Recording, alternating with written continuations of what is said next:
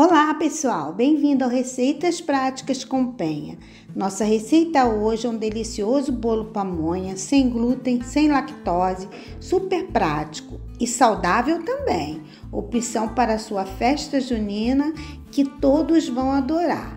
Antes da receita, peço que deixem um like para mim, se inscrevam no canal quem ainda não é inscrito e compartilhe esse vídeo aí com seus amigos. Não esqueçam de acionar lá o sininho para estar tá recebendo as receitas novas, tá? Então vamos lá.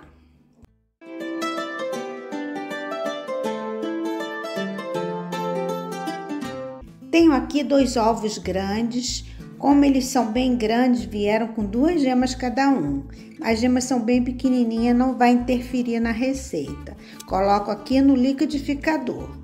Vou usar esta latinha de milho. Sem o líquido, tá? Eu vou tirar todo o líquido e sem o líquido ela pesa 170 gramas de acordo com o que está escrito aqui na latinha.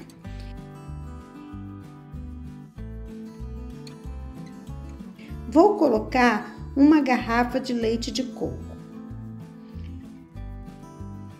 um terço da xícara de 200 ml de óleo. Pode usar o óleo da preferência de vocês, estou usando aqui o óleo de girassol. Agora vou levar para liquidificar. Vou deixar bater por dois minutos, dou um intervalinho e bato novamente, que é para ficar bem líquido, para diluir bem o milho, porque eu não vou coar. Depois de bem batido, transfiro todo o líquido aqui para a tigela.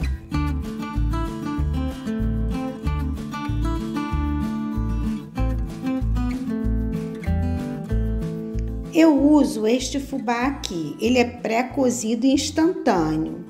Vou utilizar uma xícara e meia. Essa xícara tem 200 ml, tá bom? Pode ser também utilizado o fubá comum, desde que ele seja bem fininho.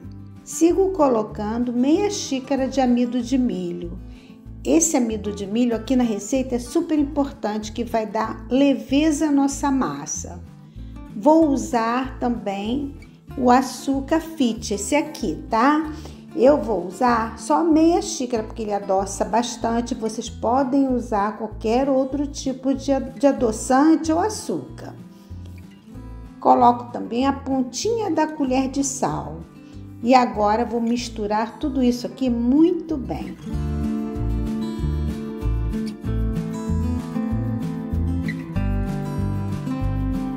A minha massa ela fica assim, olha, bem consistente. Se você estiver utilizando o fubá que não seja o pré-cozido, vocês adicione meia xícara, que é 100 ml de água, para deixar a massa mais macia e para dar o tempo do cozimento do fubá, tá bom? Porque senão vai ficar o fubá vai ficar cru. Agora eu finalizo com uma colher de sopa rasa, que essa tampinha aqui, ó, não enchi muito não, tá? De fermento químico para bolo. E vou misturar agora suavemente. A massa está pronta. Tenho aqui a minha forma que mede 23 centímetros de diâmetro. Untei e enfarinhei com amido. Coloco todo o conteúdo da massa e dou uma ajeitadinha.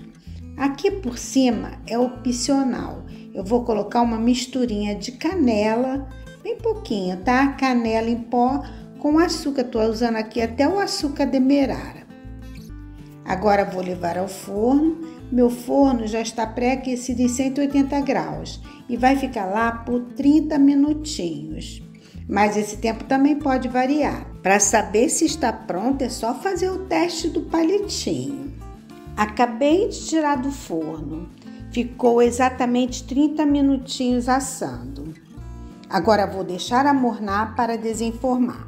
Olhem que lindo! Essa canelinha por cima tá dando um cheirinho maravilhoso, gente. Que bolo perfumado! Olhem só o corte, a maciez. Ele fica super molhadinho e fofinho. Que maravilha! Espero que vocês tenham gostado e que façam aí depois me digam. Peço like e muito obrigada. Até a próxima receita.